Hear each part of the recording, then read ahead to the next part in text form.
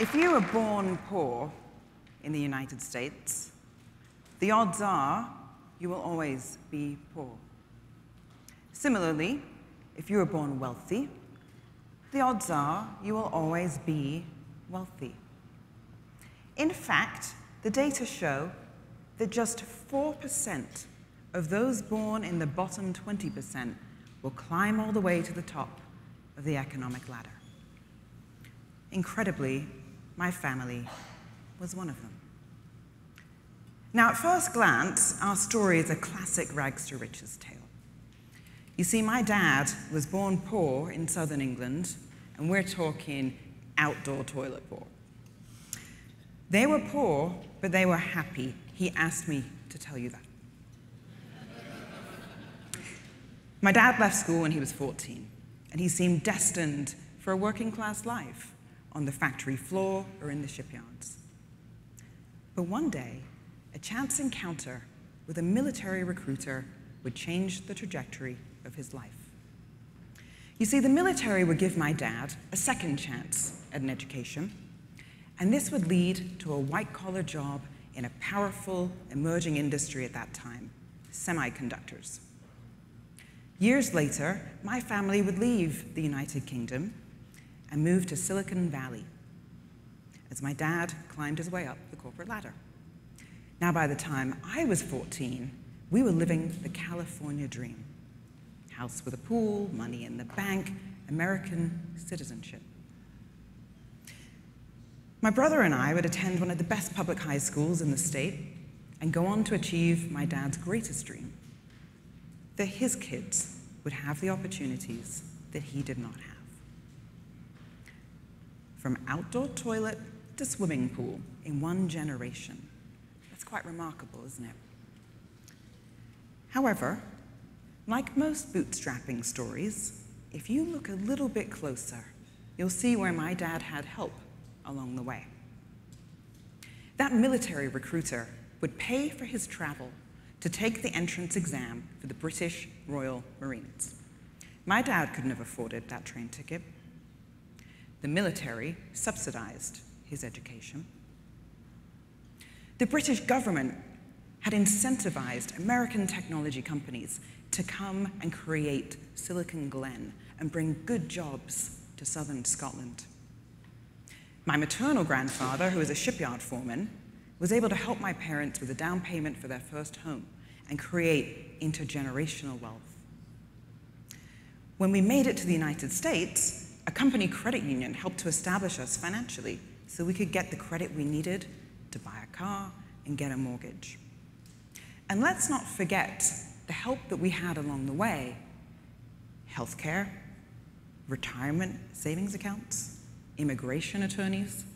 All of this was paid for by my dad's employer. So, what strikes me about so many of these life changing moments of opportunity is how simple they are train ticket, an associate's degree, a credit score. But what is remarkable is how hard these things are to come by if you don't have that help along the way. I'm Leigh Phillips. I am the daughter of Kelvin Phillips, but I'm also the CEO of SaverLife, an online community of over 600,000 hardworking Americans committed to building financial health for themselves and their families.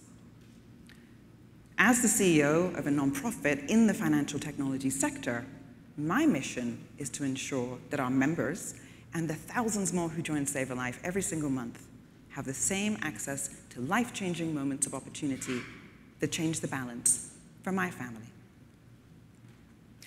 You see, SaverLife exists because almost 40% of Americans can't cover a $400 expense without going into debt. SaverLife exists because half of American families live paycheck to paycheck with nothing left over for wealth building.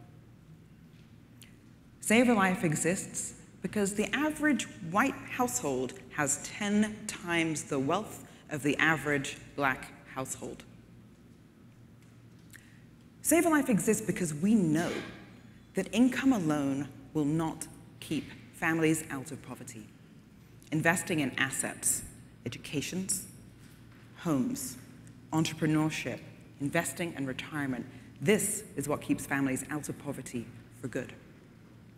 Now, we have a powerful new tool in our fight to make sure that more people get from the bottom to the top of the economic ladder financial technology. SaverLife uses tech to help people to save and build assets. Our work is grounded in behavioral science. We provide cash rewards and incentives to encourage families to save consistently and to help them to set and achieve their own financial goals.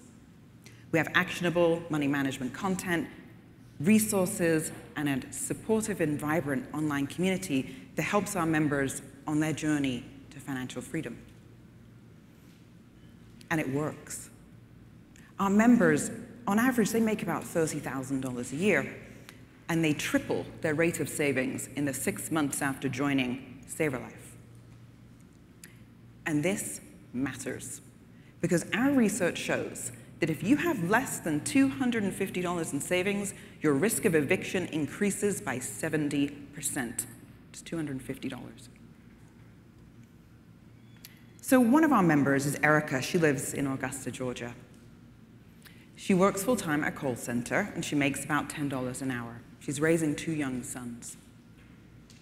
Before joining SaverLife, Erica would save when she could, you know, put some money away here and there. But after joining and accessing the community, the content, the resources, the cash incentives, she committed to saving $50 from every single paycheck. She could log on and see her savings grow. That savings account would prevent a financial disaster when Erica's young son was at a routine doctor's appointment and the doctor discovered an issue that required immediate surgery. And while her son's expenses were covered while he was in the hospital, Erica had to take an unpaid leave from her job because, like millions of working Americans, her job doesn't provide paid sick leave or paid family medical leave. She was able to dip into her emergency fund to cover this unavoidable loss of income and avoid a financial crisis. She then committed to saving $75 from every paycheck. Wealth building starts with savings. When we stash just a few dollars away regularly, we're better equipped to handle life's emergencies, whether that be a flat tire or an unexpected loss of income. And when we can get through these types of disruptions without going into debt, we can start to build wealth. The type of wealth that leads to an education, a better job, home ownership, a safe and secure retirement. Now, this is the life that Erica is working towards for herself and her young boys.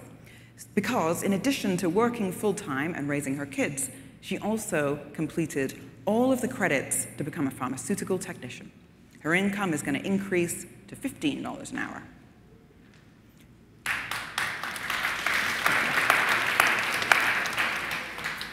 But there was a catch. Even though she completed all of the coursework to get her pharmaceutical technician degree, she owed the college money for tuition and they wouldn't give her that degree until she paid. Without the degree, she can't get the job, and she can't build the life she's imagined for herself and her sons. Now, the truly heartbreaking part about this story is that tuition was just $500 a semester. So, just like my dad, Erica is working full time, going to school full time to create a better life for herself and her family. And just like my dad, she earned an associate's degree. But unlike my, my dad, her pathway out of poverty is blocked by just a few hundred dollars. So, how would a financial system that is designed to help everybody build wealth change the balance for a hardworking person like Erica? Well, here's some ideas. If her employer had matched her savings account, she would have doubled her savings and been able to cover that $500 expense. If she had access to more affordable credit, she could have borrowed the money she needed at a reasonable rate, paid it back over time, and built a credit score. If she had access to a 529 account, that's how I'm saving for education for, for my family, she would have seen her money grow tax free. People are joining SaverLife from all across the country to access resources just like these well designed products, resources, financial content, even employer match savings programs. Because we believe that everyone deserves an equal opportunity to the tools that build wealth. And through tech, we're getting it done at scale. Now, you see, my dad, he had a favorite phrase when I was growing up, and I must have heard this a million times. In fact, no joke, I just heard it last week. Luck is when preparation meets opportunity. And now that I'm older, I see that there's a lot of truth in that. But there's another truth that we're probably all familiar with. Talent is equally distributed, but opportunity is not.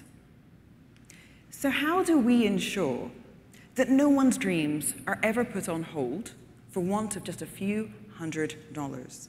And how do we guarantee the potential is always met with opportunity? We do it by removing the financial barriers that have kept too many Americans from getting ahead and staying ahead and building wealth. This is the future we're creating at SaverLife, and you can all join us literally at saverlife.org. Thank you.